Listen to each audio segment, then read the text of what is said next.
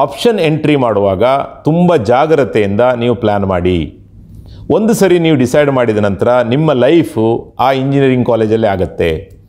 ಹೆಚ್ಚಿನ ಮಕ್ಕಳಿಗೆ ಹಾಗೂ ಪಾಲಕರಿಗೆ, ಪೋಷಕರಿಗೆ ಕೆಲವೊಂದು ಕನ್ಫ್ಯೂಷನ್ ಇರುತ್ತೆ. ಸ್ಪೆಷಲೈಸೇಷನನ್ನು ಹೇಗೆ ಚೂಸ್ ಮಾಡಿಕೊಳ್ಬೇಕು ಅಂತ. ಸಾಕಷ್ಟು ಸಾರಿ ನಾವು ನಿತ್ಯ ಜೀವನದಲ್ಲಿ ಹಾಗೂ ಪತ್ರಿಕೆಗಳಲ್ಲಿ ಓದ್ತೇವೆ. ಇಂಜಿನಿಯರಿಂಗ್ ಜಾಬ್ ಮಾಡಿದವರಿಗೆ ಕೆಲಸ ಇಲ್ಲ ಅಂತ. ಇಂಜಿನಿಯರಿಂಗ್ ಜಾಬ್ ಮಾಡಿದವರಿಗೆ ಯಾಕೆ ಕೆಲಸ ಇಲ್ಲ ಅನ್ನೋದು ಕೂಡ ತುಂಬ ಒಂದು ತಿಳ್ಕೊಳ್ಬೇಕಾದಂಥ ಒಂದು ವಿಷಯ. ಯಾಕಂದರೆ skill is very important not only degree ಪದವಿ ಮಾತ್ರ ಮುಖ್ಯ ಅಲ್ಲ, ಆ ಕೌಶಲ್ಯಗಳನ್ನು ಅವರು ಪಡ್ಕೊಂಡಿರಬೇಕು. ಹೆಚ್ಚಿನ ಕಡೆಯಲ್ಲಿ ಇಂಜಿನಿಯರಿಂಗ್ ಓದುವಾಗ ಆ ಕೌಶಲ್ಯವನ್ನು ಅವರಿಗೆ ಪಡೆದುಕೊಳ್ಳುವುದಿಲ್ಲ ಅಥವಾ ಪಡೆದುಕೊಳ್ಳಲು ಸಾಧ್ಯ ಆಗುವುದಿಲ್ಲ. ಅಂಥ ಸಂದರ್ಭಗಳು ಇರುತ್ತೆ. ಒಬ್ಬ ಸ್ಕಿಲ್ಡ್ ಇಂಜಿನಿಯರಿಗೆ ಯಾವುದೇ ಡೊಮೇನ್ನಲ್ಲಿರ್ಬೋದು ಈಗಲೂ ಕೂಡ ಸಾಕಷ್ಟು ಒಂದು ಜಾಬ್ ಅಪಾರ್ಚುನಿಟೀಸ್ ಇರುತ್ತೆ. ನಿಮ್ಮ ಇಂಟ್ರೆಸ್ಟನ್ನು ಯಾವ ರೀತಿ ಮ್ಯಾಪ್ ಮಾಡಬೇಕಂತಂದರೆ, ಈ ನಾಲ್ಕು ಸ್ಟ್ರೀಮ್ಗಳಲ್ಲಿ ನಿಮಗೆ ಯಾವ ಸ್ಟ್ರೀಮ್ ಇಷ್ಟ ಅನ್ನೋದನ್ನು ನೋಡ್ಕೊಳ್ಬೇಕು. ಒಂದು ಸರಿ ಯಾವ ಸ್ಟ್ರೀಮ್ ಇಷ್ಟ ಅಂತ ನೀವು ಗೊತ್ತಾದ ನಂತರ, ಆ ಸ್ಟ್ರೀಮ್ ಒಳಗಡೆ ಸಾಕಷ್ಟು ರೀತಿಯ ಕೋರ್ಸ್ಗಳು ಬರುತ್ತೆ. ನೀವು ಯಾವ ಸ್ಟ್ರೀಮಲ್ಲಿ ಇಂಟ್ರೆಸ್ಟ್ ಇದೆ ಅನ್ನೋದನ್ನು ಕೂಡ ನೀವು ತಿಳ್ಕೊಳ್ಬೇಕು. ಸಾಕಷ್ಟು ಸರಿ ಏನಾಗ್ತದೆ ಅಂತಂದರೆ, ನಾವು ಯಾವ ಬೇಸಸ್ ಮೇಲೆ ಒಂದು ಸ್ಟ್ರೀಮನ್ನು ಸಿಲೆಕ್ಟ್ ಮಾಡ್ಕೊಳ್ಬೇಕು ಅಂತ. ಇದು ತುಂಬ ಕಷ್ಟದ ಒಂದು ಸಲಹೆ. ನಿಮ್ಮ ಪ್ಯಾಷನ್ ಹೇಗಿದೆಯೋ ನೀವು ಅದನ್ನು ಮಾಡಿ. ಇನ್ನೊಂದು ನೆನ್ಪಿಟ್ಕೊಳ್ಳಿ. ಕರ್ನಾಟಕದಲ್ಲಿ ಸರಿಸುಮಾರು ನಾನ್ನೂರು ಇಂಜಿನಿಯರಿಂಗ್ ಕಾಲೇಜುಗಳಿದೆ ಅದರಲ್ಲಿ ಇನ್ನೂರ ಮೂವತ್ತು ಪ್ರೈವೇಟ್ ಇಂಜಿನಿಯರಿಂಗ್ ಕಾಲೇಜುಗಳಿದೆ ಇದರಲ್ಲಿ ಒಂದು ಎಪ್ಪತ್ತು ಕಾಲೇಜು ಬೆಂಗಳೂರಿನಲ್ಲಿದೆ. ಒಂದು ಹನ್ನೆರಡು ಕಾಲೇಜು ಮೈಸೂರಿನಲ್ಲಿದೆ. ಅದರಲ್ಲಿ ಒಂದು ಹದಿನಾರು college autonomous engineering college total seats ಇರುವಂಥದ್ದು ಒಂದು ಅರವತ್ತೈದು ಸಾವಿರ ಸೀಟ್ಸು ಎಲ್ಲ ಸಿ ಇ ಟಿ ಕಾಲೇಜುಗಳನ್ನು ಸೇರಿಸಿ. ಈ ಅರವತ್ತೈದು ಸಾವಿರ ಸೀಟಲ್ಲಿ ಸಾಕಷ್ಟು ಸಾವಿರ ಸೀಟುಗಳು ಫಿಲ್ ಆಗ್ತಾ ಇಲ್ಲ. ಹಾಗಾಗಿ ನೀವು ಕೂಡ ಯಾವ ಕಾಲೇಜು, ಯಾವ ಕೋರ್ಸನ್ನು ಚೂಸ್ ಮಾಡ್ತೀರೋ ಅದನ್ನು ಗಮನದಲ್ಲಿಟ್ಕೊಳ್ಬೇಕು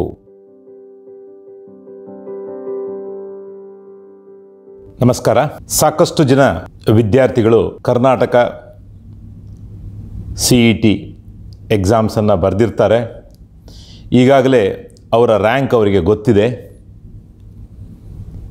ಡಾಕ್ಯುಮೆಂಟ್ ವೆರಿಫಿಕೇಷನ್ ಆಗಿದೆ. ಆಪ್ಷನ್ ಎಂಟ್ರಿ ಮಾಡುವಂಥ ಸಮಯ. ಆಪ್ಷನ್ ಎಂಟ್ರಿ ಮಾಡುವಾಗ ಸಾಕಷ್ಟು ಆಲೋಚನೆಯನ್ನು ಮಾಡಿರಬೇಕು ಪ್ಲ್ಯಾನಿಂಗನ್ನು ಮಾಡಿರಬೇಕು. ಇಲ್ಲದೆ ಹೋದರೆ ಆ ತಪ್ಪನ್ನು ಮತ್ತು ನಿಮ್ಮ ಜೀವನ ಪರ್ಯಂತ ನೀವು ಪರಿತಪಿಸಬೇಕಾದಂಥ ಒಂದು ಸಂದರ್ಭ ಬಂದು ಒದಗ್ತದೆ. ಕರ್ನಾಟಕ ಸಿ ಇ ಟಿ ಎರಡು ಸಾವಿರದ ಇಪ್ಪತ್ತು ಆಪ್ಷನ್ ಎಂಟ್ರಿ ಬರುವಕ್ಕಿಂತ ಮುಂಚೆ ನಾನು ಕೆಲವೊಂದು ವಿಷಯವನ್ನು ನಿಮ್ಮ ಗಮನಕ್ಕೆ ತರಲಿಕ್ಕೆ ಇಷ್ಟಪಡ್ತೇನೆ. ಈ ಇಂಜಿನಿಯರ್ ಅಂದರೆ ಯಾರು ಅಂತ? ನಾವೇನು ಹೇಳ್ತೇವೆ, ಎಷ್ಟೋ ಸರಿ ಎಂಜಿನಿಯರಿಂಗ್ ಮಾಡಬೇಕು ಬಟ್ ಎಂಜಿನಿಯರಿಂಗ್ ಅಂದರೆ ಏನು ಅನ್ನೋದನ್ನು ತಿಳ್ಕೊಳ್ಬೇಕು ಸ್ನೇಹಿತರೆ. ಇಂಜಿನಿಯರಿಂಗ್ ಅಂದರೆ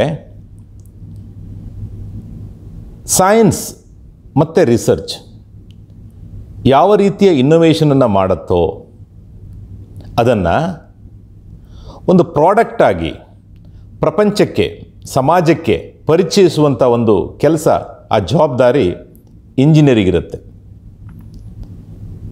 engineer is a person who is going to convert to of science into a workable product which is going to be useful for mankind ಮನುಷ್ಯನ ಸರ್ವಾಂಗ ಅಭಿವೃದ್ಧಿ ಆಗಲಿಕ್ಕೆ ಇಂಜಿನಿಯರ್ ಪಾತ್ರ ಬಹುಮುಖ್ಯ ಸ್ನೇಹಿತರೆ.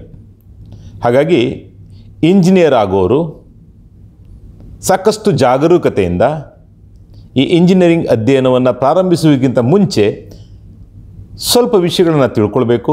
ಅದೇ ರೀತಿ ಆಪ್ಷನ್ ಎಂಟ್ರಿ ಯಾವ ರೀತಿ ಮಾಡಬೇಕನ್ನೋದನ್ನು ಕೂಡ ನಾನು ಮುಂದೆ ಹೇಳ್ತಾ ಹೋಗ್ತೇನೆ. ಒಬ್ಬ ಆಧುನಿಕ ಇಂಜಿನಿಯರ್ ಇಪ್ಪತ್ತೊಂದನೇ ಶತಮಾನದ ಒಬ್ಬ ಇಂಜಿನಿಯರ್ ಆಗೋನು ಹೇಗಿರಬೇಕು ಅನ್ನುವಂಥದ್ದು ಸಾಕಷ್ಟು ಸರಿ ಚರ್ಚೆಗೆ ಬರುತ್ತೆ. ಕ್ರಿಯಾತ್ಮಕ ಹಾಗೂ ವೇಗವಾಗಿ ಬದಲಾಗುತ್ತಿರುವಂಥ ಜಗತ್ತಿನಲ್ಲಿ ಒಬ್ಬ ಇಂಜಿನಿಯರ್ ಪಾತ್ರ ಬಹುಮುಖ್ಯ. ಅವನಿಗೆ ಇಂಜಿನಿಯರಿಂಗ್ ಒಂದು ವಿಷಯ ಅಲ್ಲದೆ ಸಂವಹನ, ಅಂದರೆ ಕಮ್ಯುನಿಕೇಷನ್ ಸಮಸ್ಯೆಯ ಪರಿಹಾರ ಪ್ರಾಬ್ಲಮ್ ಸಾಲ್ವಿಂಗ್ ನಿರ್ವಹಣೆ management communication problem solving and management ಈ ಎಲ್ಲ ಕೌಶಲ್ಯಗಳ ಅಗತ್ಯ ಕೂಡ ಒಬ್ಬ ಇಂಜಿನಿಯರಿಗೆ ಇರುತ್ತೆ. ಈ ತಾಂತ್ರಿಕವಾದಂಥ ಕೌಶಲ್ಯಗಳು ಯಾವುದು ಅಂತ? ಸೈನ್ಸಿನ ಫೌಂಡೇಶನ್ಸ್ ಅವನಿಗೆ ಸ್ವಲ್ಪ ಕರೆಕ್ಟಾಗಿ ಗೊತ್ತಿರಬೇಕು. ಇಂಜಿನಿಯರಿಂಗ್ ಫೌಂಡೇಶನ್ ಮತ್ತು ಇಂಜಿನಿಯರಿಂಗನ್ನು ಯಾವ ರೀತಿ ಅಪ್ಲೈ ಮಾಡಬೇಕು ಅನ್ನುವಂಥ ಒಂದು ಜ್ಞಾನ ಅವನಿಗಿರಬೇಕು. ಪ್ರೊಬ್ಯಾಬಿಲಿಟಿ ಆ್ಯಂಡ್ ಸ್ಟೆಟಿಸ್ಟಿಕ್ಸ್ ಇದು ಅತ್ಯುತ್ತಮವಾದಂಥ ಒಂದು ನಾಲೆಜು ಅದು ಅವನಿಗೆ ಗೊತ್ತಿರಬೇಕು. ಕಂಪ್ಯೂಟರ್ ಸೈನ್ಸ್ ಆ್ಯಂಡ್ ಇಂಜಿನಿಯರಿಂಗ್ ಬಗ್ಗೆ ಸಾಕಷ್ಟು ಮಾಹಿತಿಯನ್ನು ಪಡ್ಕೊಂಡಿರಬೇಕು. ಅವನು ಯಾವ ಇಂಜಿನಿಯರ್ ಆದರೂ ಕೂಡ ಕಂಪ್ಯೂಟರ್ ಸೈನ್ಸ್ ಮತ್ತು ಕಂಪ್ಯೂಟರ್ ಬಗ್ಗೆ ಹೆಚ್ಚಿನ ಒಂದು ವಿಷಯ ಅವನು ತಿಳ್ಕೊಂಡಿರಬೇಕು. ಮತ್ತು ಒಳ್ಳೆಯ ಒಂದು ಇಂಜಿನಿಯರಿಂಗ್ ಪ್ರಾಕ್ಟೀಸ್ ಮಾಡೋದನ್ನು ಕೂಡ ಅವನು ಕಲ್ತಿರಬೇಕು. ಭಾರತ ಸಾಕಷ್ಟು ಜನ ಶ್ರೇಷ್ಠ ಇಂಜಿನಿಯರ್ಗಳನ್ನು ಕಂಡಂಥ ದೇಶ. ಇಂಜಿನಿಯರ್ ಅಂತ ಹೇಳಿದಾಗ ಮೊದಲು ನೆನಪಾಗುವುದು ಸರ್ ಎಂ ವಿಶ್ವೇಶ್ವರಯ್ಯ. ಅವರನ್ನು ನಮ್ಮ ದೇಶದಲ್ಲಿ ಫಾದರ್ ಆಫ್ ಇಂಜಿನಿಯರಿಂಗ್ ಅಂತಲೇ ನಾವು ಕರಿತೇವೆ. ಸಂತೋಷದ ವಿಷಯ ಅಂತಂದರೆ ಅವರು ಕರ್ನಾಟಕದವರು, ಮೈಸೂರಿನವರು. ಸರಿಸುಮಾರು ಇನ್ನು ಕೆಲವೊಂದು ನೆನಪಾಗೋದು doctor A P J Abdul Kalam. Father of rocketry of India people's president of India Narayana Murthy. ಇನ್ಫೋಸಿಸ್ನ founder Sam Pitroda. ಯಾರು ಈ ಒಂದು ಐ ಟಿ ಕ್ಷೇತ್ರದಲ್ಲಿ ಗಮನಾರ್ಹ ಬದಲಾವಣೆ ತಂದಂಥ ಒಬ್ಬ ವ್ಯಕ್ತಿ.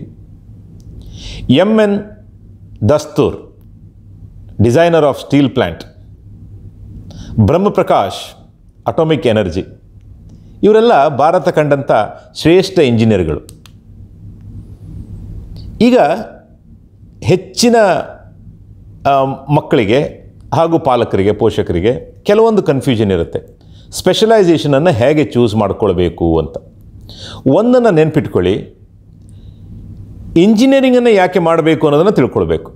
ಸಾಕಷ್ಟು ಸಾರಿ ನಾವು ನಿತ್ಯ ಜೀವನದಲ್ಲಿ ಹಾಗೂ ಪತ್ರಿಕೆಗಳಲ್ಲಿ ಓದ್ತೇವೆ ಇಂಜಿನಿಯರಿಂಗ್ ಜಾಬ್ ಮಾಡಿದವರಿಗೆ ಕೆಲಸ ಇಲ್ಲ ಅಂತ. ಇಂಜಿನಿಯರಿಂಗ್ ಜಾಬ್ ಮಾಡಿದವರಿಗೆ ಯಾಕೆ ಕೆಲಸ ಇಲ್ಲ ಅನ್ನೋದು ಕೂಡ ತುಂಬ ಒಂದು ತಿಳ್ಕೊಳ್ಬೇಕಾದಂಥ ಒಂದು ವಿಷಯ. ಯಾಕಂದರೆ skill is very important not only degree ಪದವಿ ಮಾತ್ರ ಮುಖ್ಯ ಅಲ್ಲ, ಆ ಕೌಶಲ್ಯಗಳನ್ನು ಅವರು ಪಡ್ಕೊಂಡಿರಬೇಕು. ಹೆಚ್ಚಿನ ಕಡೆಯಲ್ಲಿ ಇಂಜಿನಿಯರಿಂಗ್ ಓದುವಾಗ ಆ ಕೌಶಲ್ಯವನ್ನು ಅವರಿಗೆ ಪಡೆದುಕೊಳ್ಳುವುದಿಲ್ಲ ಅಥವಾ ಪಡೆದುಕೊಳ್ಳಲು ಸಾಧ್ಯ ಆಗೋದಿಲ್ಲ ಅಂಥ ಸಂದರ್ಭಗಳು ಇರುತ್ತೆ. ಒಬ್ಬ ಸ್ಕಿಲ್ಡ್ ಇಂಜಿನಿಯರಿಗೆ ಯಾವುದೇ ಡೊಮೇನ್ನಲ್ಲಿರ್ಬೋದು ಈಗಲೂ ಕೂಡ ಸಾಕಷ್ಟು ಒಂದು ಜಾಬ್ ಅಪಾರ್ಚುನಿಟೀಸ್ ಇರುತ್ತೆ. ಆದರೆ ಈಗಿನ ಒಂದು ಯುಗದಲ್ಲಿ ಏನಾಗಿದೆ ಅಂತಂದರೆ ಕಂಪ್ಯೂಟರ್ ಸೈನ್ಸ್ ರಿಲೇಟೆಡ್ ಯಾವುದೆಲ್ಲ ಸ್ಪೆಷಲೈಸೇಷನ್ ಇದೆಯೋ ಅದರಲ್ಲಿ ಹೆಚ್ಚಿನ ಜಾಬ್ ಅಪಾರ್ಚುನಿಟಿಯನ್ನು ಇರೋದನ್ನು ನಾವು ಕಾಣ್ತೇವೆ. ಅದರ ಅರ್ಥ, ಇನ್ನೇ ಬೇರೆ ಇಂಜಿನಿಯರಿಂಗ್ ಕೋರ್ಸ್ಗಳಲ್ಲಿ ಜಾಬ್ಗಳು ಇಲ್ಲ ಅಂತಲ್ಲ. ಜಾಬ್ಗಳಿದೆ ಬಟ್ ಕಂಪ್ಯೂಟರ್ ಸೈನ್ಸ್ನಲ್ಲಿ ಜಾಬ್ ಅಪಾರ್ಚುನಿಟಿ ಸ್ವಲ್ಪ ಹೆಚ್ಚಿದೆ. ಆದರೆ ಈಗ ಎಲ್ಲ ಇಂಜಿನಿಯರಿಂಗ್ ಬ್ರ್ಯಾಂಚಲ್ಲೂ ಕೂಡ ಆ ಕಂಪ್ಯೂಟರ್ ನಾಲೆಜ್ ಅನ್ನೋದನ್ನು ಅವ್ರು ಗಳಿಸ್ಕೊಳ್ತಾರೆ. ಆ ಕಂಪ್ಯೂಟರ್ ಇಂಜಿನಿಯರಿಂಗ್ ಪಾರ್ಟ್ ಏನಿದೆ, ಅದನ್ನು ಆ ಪ್ರತಿಯೊಂದು ಡೊಮೇನ್ನಲ್ಲೂ ಕೂಡ ಯೂಸ್ ಮಾಡ್ತಾರೆ. ಅಂದರೆ ಒಬ್ಬ ಮೆಕ್ಯಾನಿಕಲ್ ವಿದ್ಯಾರ್ಥಿ ಕೂಡ ಅವನಿಗೆ ಕ್ಯಾಡ್ ಕ್ಯಾಮ್ ಗೊತ್ತಿರುತ್ತೆ, ಅವನಿಗೆ ಆರ್ಟಿಫಿಷಿಯಲ್ ಇಂಟೆಲಿಜೆನ್ಸನ್ನು ಈ ಫೀಲ್ಡಿಗೆ ಹೇಗೆ ಯೂಸ್ ಮಾಡೋದು ಅಂತ ಗೊತ್ತಿರುತ್ತೆ ಅಂಥ ಸಿಲೆಬಸ್ಗಳು ಈಗಾಗಲೇ ಬಂದಿದೆ. ಹಾಗಾಗಿ ನಿಮಗೆ ಯಾವ ಒಂದು ಬ್ರ್ಯಾಂಚ್ನಲ್ಲಿ ಇಂಟ್ರೆಸ್ಟ್ ಇದೆಯೋ, ಆ ಒಂದು ಬ್ರ್ಯಾಂಚ್ನಲ್ಲಿ ನೀವು ಇಂಜಿನಿಯರಿಂಗ್ ಮಾಡೋದು ಸೂಕ್ತ. ಇದರಲ್ಲಿ ಎರಡು ವಿಷಯ ಗಮನ ಇಟ್ಕೊಳ್ಬೇಕು. ಒಂದು ನಮ್ಮ ಇಂಟ್ರೆಸ್ಟು ಎರಡನೇದು ಜಾಬ್ ಮಾರ್ಕೆಟ್ ಸ್ನೇಹಿತರೆ, ನನ್ನ ತಿಳುವಳಿಕೆ ಪ್ರಕಾರ ನನ್ನ ಒಂದು ಇಪ್ಪತ್ತ್ಮೂರು ವರ್ಷದ ಇಂಜಿನಿಯರಿಂಗ್ ಕಾಲೇಜಿನಲ್ಲಿ ಪ್ರೊಫೆಸರ್ ಆಗಿ ಏನೋ ಒಂದು ಎಕ್ಸ್ಪೀರಿಯನ್ಸ್ ಪಡ್ಕೊಂಡಿದ್ದೇನೆ.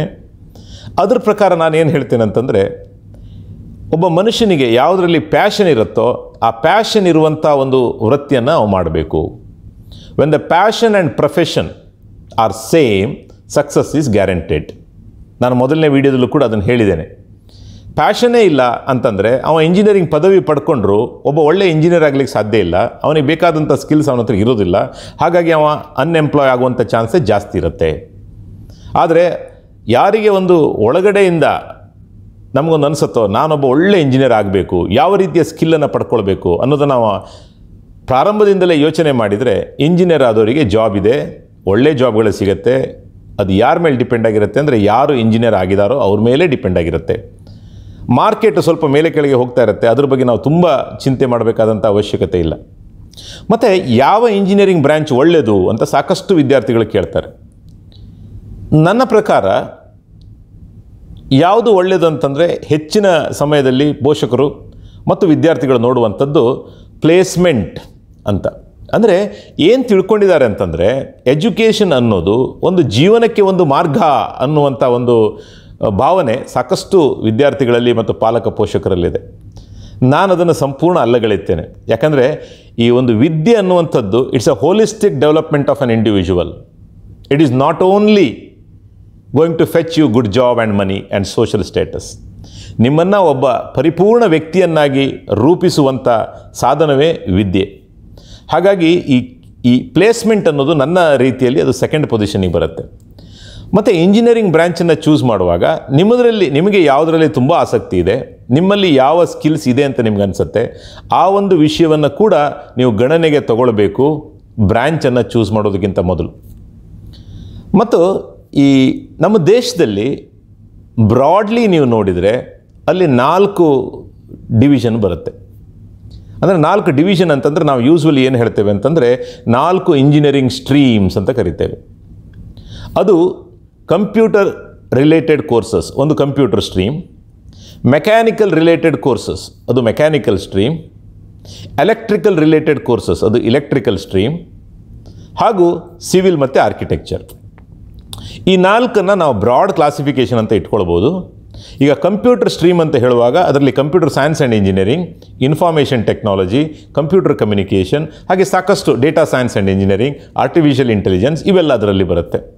ಮೆಕ್ಯಾನಿಕಲ್ ಇಂಜಿನಿಯರಿಂಗ್ ಅಂತ ಹೇಳುವಾಗ ನಾವು core mechanical engineering automobile engineering manufacturing engineering aeronautical engineering ಹೀಗೆ ಸಾಕಷ್ಟು ಬ್ರಾಂಚ್ಗಳು ಅದರಲ್ಲಿ ಬರುತ್ತೆ.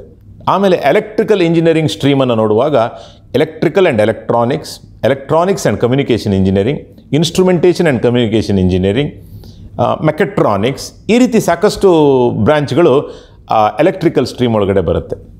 ಹಾಗಾಗಿ ನೀವು ಯಾವುದೇ ಒಂದು ನಿಮ್ಮ ಇಂಟ್ರೆಸ್ಟನ್ನು ಯಾವ ರೀತಿ ಮ್ಯಾಪ್ ಮಾಡಬೇಕಂತಂದರೆ ಈ ನಾಲ್ಕು ಸ್ಟ್ರೀಮ್ಗಳಲ್ಲಿ ನಿಮಗೆ ಯಾವ ಸ್ಟ್ರೀಮ್ ಇಷ್ಟ ಅನ್ನೋದನ್ನು ನೋಡ್ಕೊಳ್ಬೇಕು. ಒಂದು ಸರಿ ಯಾವ ಸ್ಟ್ರೀಮ್ ಇಷ್ಟ ಅಂತ ನೀವು ಗೊತ್ತಾದ ನಂತರ ಆ ಸ್ಟ್ರೀಮ್ ಒಳಗಡೆ ಸಾಕಷ್ಟು ರೀತಿಯ ಕೋರ್ಸ್ಗಳು ಬರುತ್ತೆ. ನನಗೆ ಹೇಳಿದಾಗೆ ಬೇರೆ ಬೇರೆ ರೀತಿಯ ಬಿ ಟೆಕ್ ಪ್ರೋಗ್ರಾಮ್ಗಳು ಆ ಸ್ಟ್ರೀಮ್ ಒಳಗಡೆ ಬರುತ್ತೆ. ನೀವು ಯಾವ ಸ್ಟ್ರೀಮಲ್ಲಿ ಇಂಟ್ರೆಸ್ಟ್ ಇದೆ ಅನ್ನೋದನ್ನು ಕೂಡ ನೀವು ತಿಳ್ಕೊಳ್ಬೇಕು. ಸಾಕಷ್ಟು ಸರಿ ಏನಾಗ್ತದೆ ಅಂತಂದರೆ ನಾವು ಯಾವ ಬೇಸಸ್ ಮೇಲೆ ಒಂದು ಸ್ಟ್ರೀಮನ್ನು ಸಿಲೆಕ್ಟ್ ಮಾಡ್ಕೊಳ್ಬೇಕು ಅಂತ. ಇದು ತುಂಬ ಕಷ್ಟದ ಒಂದು ಸಲಹೆ. ನಿಮ್ಮ ಪ್ಯಾಷನ್ ಹೇಗಿದೆಯೋ ನೀವು ಅದನ್ನು ಮಾಡಿ. ನಿಮಗೆ ಇಮಿಡಿಯೇಟ್ ಜಾಬ್ ಬೇಕು ಅಂತ ಇದ್ದರೆ ಕಂಪ್ಯೂಟರ್ ಸೈನ್ಸ್ ರಿಲೇಟೆಡ್ ಸ್ಟ್ರೀಮನ್ನು ನೀವು ತಗೊಳ್ಳಿ. ನಿಮಗೆ ನಿಜವಾಗಲೂ ಒಂದು ಇಂಜಿನಿಯರಿಂಗ್ನಲ್ಲಿ ಹುಚ್ಚಿದೆ. You want to make your hands dirty and you want to experiment lot of things you want to learn core engineering then go for mechanical ಅದೇ ರೀತಿ ಎಲೆಕ್ಟ್ರಿಕಲ್ ಇಂಜಿನಿಯರಿಂಗ್ ಕೂಡ ಒಂದು ಕೋರ್ ಇಂಜಿನಿಯರಿಂಗ್ ಬ್ರ್ಯಾಂಚ್ ಮತ್ತು ಸಾಕಷ್ಟು ಜನ ಸಿವಿಲ್ ಮತ್ತು ಆರ್ಕಿಟೆಕ್ಚರ್ನಲ್ಲಿ ನಿಮಗೆ building ಬಗ್ಗೆ ಅಥವಾ ಕನ್ಸ್ಟ್ರಕ್ಷನ್ ಬಗ್ಗೆ ಅಥವಾ ಬ್ರಿಡ್ಜ್ ಬಗ್ಗೆ ರೋಡ್ ಬಗ್ಗೆ ಯಾವುದೇ ರೀತಿಯ ಹಂಬಲ ಇದ್ದಲ್ಲಿ ನೀವು ಸಿವಿಲ್ ಇಂಜಿನಿಯರಿಂಗ್ ಮತ್ತು ಆರ್ಕಿಟೆಕ್ಚರ್ ಇಂಜಿನಿಯರಿಂಗನ್ನು ಮಾಡ್ಕೊಳ್ಬೋದು. ಸೊ ಈ ರೀತಿಯಾಗಿ ನಿಮಗೆ ಸಾಕಷ್ಟು ಚಾಯ್ಸ್ಗಳಿರುತ್ತೆ ನೀವು ಅದನ್ನು ಚೂಸ್ ಮಾಡ್ಕೊಳ್ಬೇಕು ಸ್ನೇಹಿತರೆ. ಸಾಕಷ್ಟು ಬಾರಿ ಕೆಲವೊಂದು ಕ್ವಶನ್ ಬರುತ್ತೆ ಏನಂತಂದರೆ ಈಗ ನಾನು ಕಂಪ್ಯೂಟರ್ ಸೈನ್ಸ್ ತೊಗೊಳ್ಳೋ ಇನ್ಫಾರ್ಮೇಷನ್ ಟೆಕ್ನಾಲಜಿ ತಗೊಳ್ಳೋ ಇನ್ಫಾರ್ಮೇಷನ್ ಟೆಕ್ನಾಲಜಿ ತೊಗೊಳ್ಳೋ ಡೇಟಾ ಸೈನ್ಸ್ ತೊಗೊಳ್ಳೋ ಅಂತ. ಒಂದನ್ನು ನೆನ್ಪಿಟ್ಕೊಳ್ಳಿ ಭಾರತದಲ್ಲಿ A I C T E all India council for technical education A I C T E so ಈಗ ನಾವು ಎ ಐ ಸಿ ಟಿ ಏನು ಹೇಳ್ತದೋ ಆ ಪ್ರಕಾರ ಇಂಜಿನಿಯರಿಂಗಿನ ನಾಮಿನ್ ಕಲ್ಚರ್ ಡಿಸೈಡ್ ಆಗುತ್ತೆ. ನಾಮಿನ್ ಕಲ್ಚರ್ ಅಂತಂದರೆ B Tech or B E in computer science and engineering ಆ computer science and engineering ಒಂದು ಒಂದು. ಅದೇ ರೀತಿ ಆರ್ಟಿಫಿಷಿಯಲ್ ಇಂಜಿನಿಯರಿಂಗ್ ಅದೇ ರೀತಿ data science engineering information technology engineering ಈ ರೀತಿ ಸಾಕಷ್ಟು ಬ್ರಾಂಚ್ಗಳು ಬಂದಾಗ ಒಂದನ್ನು ನೆನ್ಪಿಟ್ಕೊಳ್ಳಿ ಸ್ನೇಹಿತರೆ. ಇವೆಲ್ಲವೂ ಮಾಡುವಂಥ ಕೆಲಸ ಅದೇ. ಅದು ಆ್ಯಕ್ಚುಲಿ ಕಂಪ್ಯೂಟರ್ ಸೈನ್ಸ್ ಸ್ಟ್ರೀಮ್ ಸ್ವಲ್ಪ ಹೀಗೆ, ಸ್ವಲ್ಪ ಹಾಗೆ ಆ ಕಡೆ ಈ ಕಡೆ ಇರುತ್ತೆ. ನನ್ನ ಪ್ರಕಾರ ನಿಮಗೆ ಕಂಪ್ಯೂಟರ್ನಲ್ಲಿ ಬೇಕಂತಿದ್ದರೆ ನೀವು ಅದರಲ್ಲಿ ಯಾವ ಕೋರ್ಸನ್ನು ತೊಗೊಂಡ್ರೂ ಕೂಡ ಯಾವ ಇಂಡಸ್ಟ್ರಿಗೆ ನೀವು ಹೋಗಬೇಕಂತಿದ್ದೀರೋ ಆ ಇಂಡಸ್ಟ್ರಿಯವರು ಅದನ್ನು ಒಂದೇ ರೀತಿಯಲ್ಲಿ ನೋಡುವಂಥ ಸಾಧ್ಯತೆಗಳು ಹೆಚ್ಚು. ಇನ್ನೊಂದು ನೆನ್ಪಿಟ್ಕೊಳ್ಳಿ ಕರ್ನಾಟಕದಲ್ಲಿ ಸರಿಸುಮಾರು ನಾನ್ನೂರು ಇಂಜಿನಿಯರಿಂಗ್ ಕಾಲೇಜುಗಳಿದೆ. ಅದರಲ್ಲಿ ಇನ್ನೂರ ಮೂವತ್ತು ಪ್ರೈವೇಟ್ ಇಂಜಿನಿಯರಿಂಗ್ ಕಾಲೇಜುಗಳಿದೆ. ಅಂದರೆ ಇವಿಷ್ಟು ಈ ಪ್ರೈವೇಟ್ ಇಂಜಿನಿಯರಿಂಗ್ ಕಾಲೇಜುಗಳು ಕರ್ನಾಟಕ ಸಿ ಇ ಟಿಯಲ್ಲಿ ಪಾರ್ಟಿಸಿಪೇಟ್ ಮಾಡುತ್ತೆ. ಇದರಲ್ಲಿ ಒಂದು ಎಪ್ಪತ್ತು ಕಾಲೇಜು ಬೆಂಗಳೂರಿನಲ್ಲಿದೆ. ಒಂದು ಹನ್ನೆರಡು ಕಾಲೇಜು ಮೈಸೂರಿನಲ್ಲಿದೆ. ಅದರಲ್ಲಿ ಒಂದು ಹದಿನಾರು college autonomous engineering college total seats ಇರುವಂಥದ್ದು ಒಂದು ಅರವತ್ತೈದು ಸಾವಿರ ಸೀಟ್ಸು ಎಲ್ಲ ಸಿ ಇ ಟಿ ಕಾಲೇಜುಗಳನ್ನು ಸೇರಿಸಿ. ಈ ಅರವತ್ತೈದು ಸಾವಿರ ಸೀಟಲ್ಲಿ ಸಾಕಷ್ಟು ಸಾವಿರ ಸೀಟುಗಳು ಫಿಲ್ ಆಗ್ತಾ ಇಲ್ಲ. ಹಾಗಾಗಿ ನೀವು ಕೂಡ ಯಾವ ಕಾಲೇಜು, ಯಾವ ಕೋರ್ಸನ್ನು ಚೂಸ್ ಮಾಡ್ತೀರೋ ಅದನ್ನು ಗಮನದಲ್ಲಿಟ್ಕೊಳ್ಬೇಕು ಮತ್ತು ಇನ್ನು ಕೆಲವೊಮ್ಮೆ ಕಾಲೇಜನ್ನು ನೀವು ಸಿಲೆಕ್ಟ್ ಮಾಡುವಾಗ ಹೆಚ್ಚಿನವ್ರು ಏನು ಮಾಡ್ತಾರಂತಂದರೆ ಅವರು ಬ್ರ್ಯಾಂಡ್ ಕಾನ್ಷಿಯಸ್ ಅಂದರೆ ಯಾವುದು ದೊಡ್ಡ ದೊಡ್ಡ ಕಾಲೇಜ್ ಇದೆಯೋ ಅದ್ರ ಹಿಂದೆ ನಾವು ಹೋಗಬೇಕು ಅಂತ. ದಯವಿಟ್ಟು ಬ್ರ್ಯಾಂಡ್ ಬಗ್ಗೆ ತುಂಬ ಯೋಚನೆ ಮಾಡಬೇಡಿ. ಬ್ರ್ಯಾಂಡ್ ಬೇಕು ಒಳ್ಳೆಯ ಕಾಲೇಜ್ ಬೇಕು. ಆದರೆ ಬ್ರ್ಯಾಂಡ್ ಒಂದೇ ಅಲ್ಲ. ಕೆಲವೊಮ್ಮೆ ಏನಾಗುತ್ತೆ, ಒಂದು ಬ್ರ್ಯಾಂಡ್ ಕಾಲೇಜ್ ಇರುತ್ತೆ, ಬಟ್ ಅದರಲ್ಲಿ ನಿಮಗೆ ಬೇಕಾದಂಥ ಬ್ರ್ಯಾಂಚು ಅಷ್ಟು ಒಳ್ಳೆ ಇರೋದಿಲ್ಲ. ಆ ರೀತಿ ಸಂದರ್ಭಗಳು ಬರುತ್ತೆ. ಹಾಗಾಗಿ ಬರೀ ನೀವು ಬ್ರ್ಯಾಂಡ್ ಮೇಲೆ ಹೋಗೋದು ಸರಿಯಲ್ಲ. ಆ ಆ ಒಂದು ಬ್ರ್ಯಾಂಡ್ನಲ್ಲಿ ಬರುವಂಥ ಕಾಲೇಜಿನಲ್ಲಿ ಡಿಪಾರ್ಟ್ಮೆಂಟು ಮತ್ತು ಕೋರ್ಸ್ಗಳನ್ನು ನೀವು ಚೆಕ್ ಮಾಡ್ಕೊಳ್ಳೋದು ಒಳ್ಳೆಯದು. ನೀವು ಚೆಕ್ ಮಾಡ್ಕೊಳ್ಳಿ ಅಂತ ಹೇಳುವಾಗ ನಾನು ಹೆಚ್ಚಾಗಿ ರೆಫರ್ ಮಾಡುವಂಥ ಆನ್ಲೈನ್ ಸೈಟು ಕೋರಾ. ಈ ಕೋರಾ ಅನ್ನುವಂಥದ್ದು ಪ್ರಶ್ನೆ ಮತ್ತು ಉತ್ತರವನ್ನು ಕೇಳುವಂಥ ಒಂದು ಸೈಟ್. ಇದು ಯು ಎಸ್ ಬೇಸ್ಡ್ ಕಂಪನಿ ಮಾಡಿದಂಥದ್ದು ಓಪನ್ ಸೋರ್ಸು. ಏನಾಗತ್ತಂತಂದರೆ ಎಲ್ಲ ರೀತಿಯ ಪ್ರಶ್ನೆಗಳನ್ನು ಅಲ್ಲಿ ಕೇಳಿರ್ತಾರೆ. ಬೇರೆ ಬೇರೆ ರೀತಿಯ ಉತ್ತರಗಳು ಬಂದಿರ್ತದೆ. ಆ ಉತ್ತರ ಮತ್ತು ಪ್ರಶ್ನೆಗಳು ಹೆಚ್ಚಾಗಿ ರಿಯಲ್ ಟೈಮ್ ಇರುತ್ತೆ. ಕೆಲವೊಂದು ಮ್ಯಾನಿಪುಲೇಷನ್ ಕೂಡ ಅದನ್ನು ಮಾಡ್ತಾರೆ. ಆಮೇಲೆ ಫೀಸನ್ನು ಚೆಕ್ ಮಾಡ್ಕೊಳ್ಳಿ. ಒಂದೊಂದು ಕಾಲೇಜಲ್ಲಿ ಒಂದೊಂದು ರೀತಿ ಫೀಸ್ ಇದೆ. ಸಿ ಇ ಟಿಯಲ್ಲಿ ಫೀಸ್ ತೋರಿಸುವಾಗ ಬೇರೆ ಇರುತ್ತೆ. ಕಾಲೇಜಿನ ಹೋದಾಗ ಅಲ್ಲಿ ಹೇಳುವಂಥ ಫೀಸ್ಗಳು ಬೇರೆ ಇರುತ್ತೆ. ಫೀಸನ್ನು ನೋಡುವಾಗ ಬರೀ ನೀವು ಟ್ಯೂಷನ್ ಫೀಸನ್ನು ಮಾತ್ರ ನೋಡಬೇಡಿ. ಅಲ್ಲಿ ಅಕೊಮಡೇಷನ್ ಫೀಸನ್ನು ನೋಡಿ ಲೀವಿಂಗ್ ಕಾಸ್ಟನ್ನು ನೋಡಿ ಆಯಿತಾ? ಯಾಕಂದರೆ ಇದನ್ನೆಲ್ಲ ಒಟ್ಟಿಗೆ ಸೇರಿಸಿದಾಗ ನಿಮಗೆ ಇಂಜಿನಿಯರಿಗೆ ತಗಲುವಂಥ ವೆಚ್ಚ ಎಷ್ಟು ಅನ್ನೋದು ಒಂದು ಕ್ಯಾಲ್ಕುಲೇಷನ್ ಮಾಡ್ಕೊಳ್ಳಿಕ್ಕಾಗತ್ತೆ. ಮತ್ತು ಕೆಲವೊಂದು ಕಾಲೇಜ್ನಲ್ಲಿ ಸ್ಕಾಲರ್ಶಿಪ್ ಇರುತ್ತೆ. ಇಂಟೆಲಿಜೆಂಟ್ ಸ್ಟೂಡೆಂಟ್ಸನ್ನು ಅಟ್ರಾಕ್ಟ್ ಮಾಡಲಿಕ್ಕೆ ಸ್ಕಾಲರ್ಶಿಪ್ ಇರುತ್ತೆ. ಅಂಥ ಯಾವುದಾದ್ರೂ ಸ್ಕಾಲರ್ಶಿಪ್ ಆ ಕಾಲೇಜುಗಳಲ್ಲಿ ಇದೆಯಾ ಅನ್ನೋದನ್ನು ಅವ್ರ ವೆಬ್ಸೈಟನ್ನು ನೋಡಿ ತಿಳ್ಕೊಳ್ಳಿ. ನೀವು ಯಾವುದೇ ಒಂದು ಕಾಲೇಜನ್ನು ಸಿಲೆಕ್ಟ್ ಮಾಡುವಾಗ ಸಾಕಷ್ಟು ಮಾನದಂಡವನ್ನು ಯೂಸ್ ಮಾಡ್ಬೋದು. ಅದರಲ್ಲಿ ರ್ಯಾಂಕಿಂಗ್ ಕೂಡ ಒಂದು. ಸೊ ಕರ್ನಾಟಕ ಸ್ಟೇಟ್ನಲ್ಲಿ ಇರುವಂಥ ಎಲ್ಲ ಇಂಜಿನಿಯರಿಂಗ್ ಕಾಲೇಜುಗಳಲ್ಲಿ ಸಾಕಷ್ಟು ರ್ಯಾಂಕಿಂಗ್ ಡೇಟಾ ನಿಮಗೆ ಸಿಗುತ್ತೆ. ಆ ರ್ಯಾಂಕಿಂಗನ್ನು ಯೂಸ್ ಮಾಡ್ಕೊಳ್ಳಿ. ಮತ್ತು ಗೌರ್ಮೆಂಟಿನ ranking N I R F ಏನಿದೆ, ಅದನ್ನು ನೀವು ಉಪಯೋಗಿಸೋದು ಸೂಕ್ತ ಅಂತ ನನಗನ್ಸುತ್ತೆ. ಮತ್ತು ಇನ್ನು ಕೆಲವೊಮ್ಮೆ ಏನಾಗುತ್ತೆ ಅಂತಂದರೆ, ಈ ಈ ಅಡ್ಮಿಷನ್ ಮಾಡುವಾಗ ತಂದೆ ತಾಯಿ ಯೋಚನೆ ಮಾಡುವಂಥ ರೀತಿನೇ ಬೇರೆ ಇರುತ್ತೆ, ಮತ್ತು ಮಕ್ಕಳು ಯೋಚನೆ ಮಾಡುವಂಥ ರೀತಿನೇ ಬೇರೆ ಇರುತ್ತೆ. ತಂದೆ ತಾಯಿಗಳು ಏನು ಯೋಚನೆ ಮಾಡ್ತಾರೆ ಅಂತಂದರೆ, ನನ್ನ ಮಗನೋ ಮಗಳನೋ ಆದಷ್ಟು ಹತ್ತಿರದಲ್ಲಿ ಎಲ್ಲಾದರೂ ಒಳ್ಳೆ ಕಾಲೇಜ್ ಇದ್ದರೆ ನಾವು ಓದಬೇಕು ಅಂತ. ಅಂದರೆ ಲೊಕೇಶನನ್ನು ನೋಡ್ತಾರೆ. ಆ ಲೊಕೇಶನ್ ಹತ್ತಿರ ಇದೆಯಾ? ಅವನಿಗೆ ಬರಲಿಕ್ಕಾಗತ್ತಾ? ಹೋಗ್ಲಿಕ್ಕಾಗತ್ತಾ? ಯೂಸ್ವಲಿ ಹೆಣ್ಮಕ್ಳಿಗೆ ಆ ರೀತಿಯ ಕಂಡೀಷನ್ಸ್ಗಳನ್ನು ಪೇರೆಂಟ್ಸ್ ನಮ್ಮಲ್ಲಿ ಜಾಸ್ತಿ ಹಾಕ್ತಾರೆ. ಆಮೇಲೆ ಅಲ್ಲಿಯ ವೆದರ್ ಹೇಗಿದೆ? ಅಲ್ಲಿಯ ಕಲ್ಚರ್ ಹೇಗಿದೆ? ಅನ್ನೋದನ್ನು ಕೂಡ ಯೂಸ್ವಲಿ ಪೇರೆಂಟ್ಸ್ ನೋಡ್ತಾರೆ. ನಿಮ್ಮ ಚಾಯ್ಸ್ ಇರ್ಬೋದು ಪೇರೆಂಟ್ಸ್ ಚಾಯ್ಸ್ ಇರ್ಬೋದು ಬಟ್ ಸರಿಯಾದ ಒಂದು ಮಾನದಂಡವನ್ನು ಉಪಯೋಗಿಸ್ಕೊಳ್ಳೋದು ಒಳ್ಳೆಯದು ಯಾಕಂದರೆ ಅದಕ್ಕೊಂದು ಕಾಮನ್ ಯಾರ್ಡ್ ಸ್ಟಿಕ್ ಅಂತ ಯಾರೂ ಹೇಳಲಿಕ್ಕೆ ಆಗೋದಿಲ್ಲ. ಆಮೇಲೆ ಇನ್ನೊಂದು ಕಾಲೇಜಿನ ಬಗ್ಗೆ ನೀವು ತಿಳ್ಕೊಳ್ಳುವಾಗ ಪ್ಲೇಸ್ಮೆಂಟ್ ರೆಕಾರ್ಡನ್ನು ಸರಿಯಾಗಿ ಗಮನಿಸ್ಕೊಳ್ಳಿ. ಯಾಕಂದರೆ ಪ್ಲೇಸ್ಮೆಂಟ್ ಅನ್ನೋದು ಏನಾದರೂ ನೀವು ರೆಕಾರ್ಡ್ಸನ್ನು ಕರೆಕ್ಟಾಗಿ ವೆರಿಫೈ ಮಾಡಿದ್ರೆ ಸಾಕಷ್ಟು ಕಾಲೇಜುಗಳು ತುಂಬ ತಪ್ಪು ಮಾಹಿತಿಯನ್ನು ಇಂಟರ್ನೆಟ್ಟಲ್ಲಿ ಹಾಕಿರ್ತವೆ. ಸೊ ಇಂಟರ್ನೆಟ್ಟಲ್ಲಿ ಹಾಕದಂಥ ಮಾಹಿತಿನೇ ಸರಿ ಅಂತ ನೀವು ಭಾವಿಸಬಾರ್ದು. ಇದಿಷ್ಟು ನೀವು ಕಾಲೇಜನ್ನು ಚೂಸ್ ಮಾಡುವಾಗ ತಗೊಳ್ಬೇಕಾದಂಥ ಕೆಲವೊಂದು ಜಾಗೃತಾ ಕ್ರಮಗಳು. ಆಮೇಲೆ ಈಗ ಆಪ್ಷನ್ ಎಂಟ್ರಿ ಮಾಡುವಂಥ ಸಂದರ್ಭ ಬಂದಾಗ ನೀವು ಆಪ್ಷನ್ ಎಂಟ್ರಿ ಮಾಡಬೇಕು. ಸರಿ, ಸುಮಾರು ಒಂದು ಹಂಡ್ರೆಡ್ ಆಪ್ಷನ್ಸನ್ನು ನೀವು ಕೊಡಲಿಕ್ಕೆ ಸಾಧ್ಯತೆ ಇದೆ. ಆ ಹಂಡ್ರೆಡ್ ಆಪ್ಷನ್ನ ನೀವು ಕೊಡುವಾಗ ನನ್ನ ಪ್ರಕಾರ ಮೊದಲು ಮಾಡಬೇಕಾದಂಥ ಕೆಲಸ ಏನಂದರೆ ನಿಮಗೆ ಈಗಾಗಲೇ ರ್ಯಾಂಕ್ ಗೊತ್ತಿದೆ. ಆ ರ್ಯಾಂಕ್ ನಿಮಗೆ ಗೊತ್ತಿರೋದ್ರಿಂದ ಲಾಸ್ಟ್ ಎರಡೋ, ಮೂರೋ ವರ್ಷದ ಕಟ್ ಆಫನ್ನು ನೀವು ತಗೊಳ್ಬೇಕು. ಇಂಟರ್ನೆಟ್ಟಲ್ಲಿ ಅದು ಎಲ್ಲ ಕಡೆಗೆ ಸಿಗತ್ತೆ. ನಾನು ಅದಕ್ಕೆ ಬೇಕಾದಂಥ ಡಾಕ್ಯುಮೆಂಟನ್ನು ಡಿಸ್ಕ್ರಿಪ್ಷನ್ ಬಾಕ್ಸಲ್ಲಿ ಹಾಕಿರ್ತೇನೆ. ಆ ರ್ಯಾಂಕ್ನ ಬಗ್ಗೆ ನೀವು ಸ್ವಲ್ಪ ಗಮನ ಹರಿಸಬೇಕು. ಲಾಸ್ಟ್ ಇಯರ್ ಕಟ್ ಆಫ್ ಎಲ್ಲಿಗಿತ್ತು ಅಂತ. ಆಗ ಸರಿಸುಮಾರು ನಿಮಗೊಂದು ಅಂದಾಜು ಬರ್ತದೆ. ನನಗೆ ನಾನು ಜನರಲ್ ಮೆರಿಟ್ ಇರ್ಬೋದು ಬೇರೆ ಯಾವುದೇ ರೀತಿಯ ರಿಸರ್ವೇಷನ್ಸ್ಗಳು ಇರ್ಬೋದು. ಅದರಲ್ಲಿ ನನ್ನ ರ್ಯಾಂಕಿಗೆ ಲಾಸ್ಟ್ ಮೂರು ವರ್ಷದಲ್ಲಿ ಸಾಧಾರಣ ಯಾವ್ಯಾವ ಕಾಲೇಜಲ್ಲಿ ಸಿಕ್ಕಿದೆ, ಯಾವ್ಯಾವ ಕೋರ್ಸ್ ಅಂತ. ನೀವು ಅದನ್ನು ಫಸ್ಟ್ ತಿಳ್ಕೊಳ್ಬೇಕು. ಮತ್ತು ನೀವು ದೊಡ್ಡ ದೊಡ್ಡ ಕಾಲೇಜನ್ನು ಏಮ್ ಮಾಡೋದಕ್ಕಿಂತ ನಿಮಗೆ ಯಾವುದು ಸಿಗ್ಬೋದು ಅಂತ ಲಾಸ್ಟ್ ಮೂರು ವರ್ಷದ ಡೇಟಾ ಹೇಳುತ್ತೋ ಆ ಬೇಸಿಸ್ ಮೇಲೆ ಹೋಗೋದು ಒಳ್ಳೆಯದು ಸಾಧಾರಣ ನೀವು ಮೂರು ವರ್ಷದ ಡೇಟಾ ನೋಡಿದರೆ ನಿಮ್ಗೆ ಗೊತ್ತಾಗುತ್ತೆ, ಆ ರ್ಯಾಂಕ್ಗಳು ಏನು ಸಿಗುತ್ತೆ, ಕಾಲೇಜುಗಳು ಏನು ಸಿಗುತ್ತೆ, ಅದು ಕನ್ಸಿಸ್ಟೆಂಟ್ ಆಗಿರುತ್ತೆ. ತುಂಬ ಬದಲಾವಣೆ ಅದರಲ್ಲಿ ಆಗೋದಿಲ್ಲ. ಹಾಗಾಗಿ ಅದನ್ನು ನಾವು ಗಣನೆಗೆ ತೆಗೆದುಕೊಳ್ಬೋದು. ಅದಾದ ನಂತರ ನೀವು ಯಾವ ನಾಲ್ಕು ಬ್ರ್ಯಾಂಚ್ ಮೂರೋ ನಾಲ್ಕು ಬ್ರ್ಯಾಂಚನ್ನ ನೀವು ಇಂಜಿನಿಯರಿಂಗ್ ಜಾಯ್ನ್ ಆಗಲಿಕ್ಕೆ ಇಷ್ಟ ಇದ್ದೀರೋ, ಆ ನಾಲ್ಕು ಐದು ಬ್ರ್ಯಾಂಚನ್ನ ನೀವು ಸಿಲೆಕ್ಟ್ ಮಾಡ್ಕೊಳ್ಳಿ ಫಸ್ಟ್ ಹಾಗೆ ಒಂದು ಟೇಬಲ್ ಹಾಕಿ ಸ್ನೇಹಿತರೆ.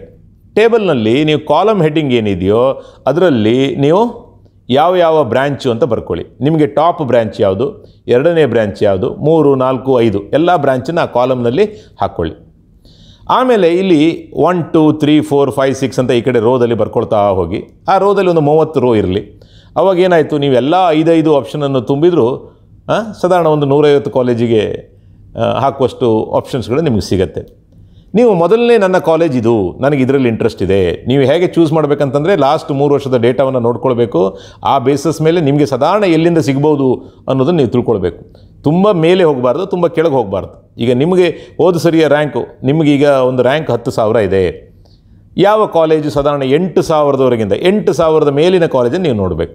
ಆ ಹತ್ತು ಸಾವಿರ ನೀವು ಕಾಲೇಜಲ್ಲಿ ನಿಮಗೆ ಈ ವರ್ಷದ ರ್ಯಾಂಕ್ ಇದ್ದು, ನೀವು ಒಂದು ಸಾವಿರ ರ್ಯಾಂಕನ್ನು ನೋಡಲಿಕ್ಕೆ ಹೋದರೆ ಅದು ನಿಮಗೆ ಸಿಗೋದಿಲ್ಲ ಅನ್ನೋದನ್ನು ನೀವು ತಿಳ್ಕೊಳ್ಬೇಕು. ಹಾಗಾಗಿ ಆ ರೀತಿ ಮಾಡಲಿಕ್ಕೆ ಹೋಗಬೇಡಿ. ಸೊ ಹತ್ತು ಸಾವಿರ ನಿಮ್ಮ ರ್ಯಾಂಕ್ ಇದ್ದರೆ ಲಾಸ್ಟ್ ಇಯರ್ ಎಂಟು ಸಾವಿರ ಯಾವ ರ್ಯಾಂಕ್ ಸಿಕ್ಕಿದೆ? ಅಥವಾ ಆರು ಸಾವಿರ ಯಾವ ರ್ಯಾಂಕ್ ಸಿಕ್ಕಿದೆ ಅಂತ ನೋಡಿಕೊಂಡು ಅಲ್ಲಿಂದ ಎಲ್ಲ ಕಾಲೇಜನ್ನು ಪಟ್ಟಿ ಮಾಡ್ತಾ ಬನ್ನಿ. ಸೊ ಒಂದು ಕಾಲೇಜನ್ನು ನೀವು ತಗೊಂಡ ನಂತರ ಆ ಕಾಲೇಜಲ್ಲಿ ನಿಮಗೆ ಯಾವ ಕೋರ್ಸ್ ಆಗ್ಬೋದು? ಒಂದು, ಎರಡು, ಮೂರು, ಯಾವುದು? ನಿಮಗೆ ಯಾವ ಕೋರ್ಸ್ ಆಗ್ಬೋದು? ಅಲ್ಲಿ ನಂಬರ್ ಬರಿತಾ ಹೋಗಿ ಒನ್ ಟೂ ತ್ರೀ ಫೋರ್ ಅಂತ. ಆಮೇಲೆ ಎರಡನೇ ಕಾಲೇಜಿಗೆ ಬನ್ನಿ. ಎರಡನೇ ಕಾಲೇಜಲ್ಲಿ ನೀವು ಬ್ರ್ಯಾಂಚನ್ನು ನೋಡಿ, ಅದರಲ್ಲಿ ಪುನಃ ಆ ನಂಬರನ್ನು ಕಂಟಿನ್ಯೂ ಮಾಡಿ. ಕೆಲವೊಮ್ಮೆ ಏನಾಗುತ್ತೆ, ಯಾವುದೋ ಒಂದು ಇಂಜಿನಿಯರಿಂಗ್ ಕಾಲೇಜಲ್ಲಿ ನಿಮಗೆ ಆ ನಾಲ್ಕು ಐದು ಬ್ರ್ಯಾಂಚನ್ನ ನೀವು ಸಿಲೆಕ್ಟ್ ಮಾಡಿರ್ತೀರಿ, ಅದರಲ್ಲಿ ಮೂರು ಬ್ರ್ಯಾಂಚ್ ಬೇಕು, ಇನ್ಯಾವುದು ಬೇಡ ಅಂತಿದ್ರೆ ಅಲ್ಲಿ ಮೂರು ಫಿಲ್ ಮಾಡಿ, ಆಮೇಲೆ ಕೆಳಗಡೆ ಬನ್ನಿ. ಸೊ ಅದೇ ರೀತಿ ನೀವು ಕಂಟಿನ್ಯೂ ಮಾಡ್ಕೊಳ್ತಾ ಹೋದರೆ, ಸಾಧಾರಣ ಒಂದು ನೂರು ನಂಬರು ಬರುವವರೆಗೆ ನೀವು ಆ ಟೇಬಲನ್ನು ಕ್ಲೀನಾಗಿ ಬರ್ಕೊಳ್ಳಿ. ಆ ಟೇಬಲನ್ನು ನಿಮ್ಮ ಸ್ನೇಹಿತರು ಅಥವಾ ಯಾರಾದರೂ ತುಂಬ ತಿಳಿದವರಿದ್ದರೆ ಅವ್ರ ಹತ್ರ ನೀವು ಅದನ್ನು ತೋರಿಸಿ ಮಾಹಿತಿ ಪಡ್ಕೊಳ್ಳಿ. ಈ ಆಪ್ಷನ್ ಎಂಟ್ರಿ ಆಗೋದಕ್ಕಿಂತ ಮೊದಲು ಈ ಒಂದು ಟೇಬಲ್ ನಿಮ್ಮ ಹತ್ರ ಇದ್ದರೆ ನಿಮಗೆ ಅದು ಸಾಕಷ್ಟು ಉಪಾಯಕಾರಿಯಾಗುವಂಥ ಉಪಕಾರ ಆಗುತ್ತೆ ಅದರಿಂದ. ಸೊ ಅದನ್ನು ಸ್ವಲ್ಪ ನೀವು ಗಮನದಲ್ಲಿ ಇಟ್ಕೊಳ್ಬೇಕು, ಆ ತಯಾರಿಯನ್ನು ಮಾಡಿಕೊಳ್ಬೇಕು. ಆಮೇಲೆ ಆಪ್ಷನ್ ಎಂಟ್ರಿಗೆ ಬಂದಾಗ ನೀವು ಈ ತಯಾರಿಯನ್ನು ಮಾಡ್ಕೊಂಡಿದ್ದರಿಂದ ನಿಮಗೆ ತುಂಬ ತಲೆಬಿಸಿ ಆಗೋದಿಲ್ಲ, ನೀವು ಇಮಿಡಿಯೇಟಾಗಿ ಎಂಟ್ರಿ ಮಾಡಿ ಮುಗಿಸ್ಬೋದು. ಆಮೇಲೆ ಏನಾಗುತ್ತೆ ಅಂತಂದರೆ ಒಂದು ಸರಿ ಒಂದು ರೌಂಡ್ ಆದ ನಂತರ ಕೂಡ ಕೆಲವೊಮ್ಮೆ ಚೇಂಜ್ ಮಾಡುವಂಥ ಆಪ್ಷನ್ ಇರುತ್ತೆ. ಆ ರೌಂಡ್ ಆದ ನಂತರ ಕೂಡ ನೀವು ಆ ಬದಲಾವಣೆಗಳನ್ನು ಮಾಡ್ಕೊಳ್ತಾ ಹೋಗ್ಬೋದು. ಹಾಗಾಗಿ ಆಪ್ಷನ್ ಎಂಟ್ರಿ ಮಾಡುವಾಗ ತುಂಬ ಜಾಗ್ರತೆಯಿಂದ ನೀವು ಪ್ಲ್ಯಾನ್ ಮಾಡಿ. ಒಂದು ಸರಿ ನೀವು ಡಿಸೈಡ್ ಮಾಡಿದ ನಂತರ ನಿಮ್ಮ ಲೈಫು ಆ ಇಂಜಿನಿಯರಿಂಗ್ ಕಾಲೇಜಲ್ಲೇ ಆಗುತ್ತೆ. ಮತ್ತು ನಾಲ್ಕು ವರ್ಷದ ಇಂಜಿನಿಯರಿಂಗ್ ಕಾಲೇಜಲ್ಲಿ ಯಾವ ರೀತಿ ಅಭ್ಯಾಸ ಮಾಡಬೇಕು, ಯಾವುದಕ್ಕೆ ಫೋಕಸ್ ಮಾಡಬೇಕು ಅನ್ನೋದ್ರ ಬಗ್ಗೆ ನಾನು ನಿಮ್ಮನ್ನೆಲ್ಲ ಅಡ್ಮಿಷನ್ ಆದ ಇನ್ನೊಂದು ವೀಡಿಯೋವನ್ನು ಮಾಡಿ ನಿಮ್ಮ ಮುಂದೆ ಹಂಚಿಕೊಳ್ತೇನೆ. ನಾನು ಈ ರೀತಿ ಮಾಹಿತಿ ಕೊಟ್ಟಿದ್ದು ನಿಮಗೆ ಉಪಯೋಗ ಬರುತ್ತೆ ಅಂತ ಭಾವಿಸ್ತೇನೆ ಸ್ನೇಹಿತರೆ. ಈ ಒಂದು ಅವಕಾಶಕ್ಕಾಗಿ ಧನ್ಯವಾದಗಳು.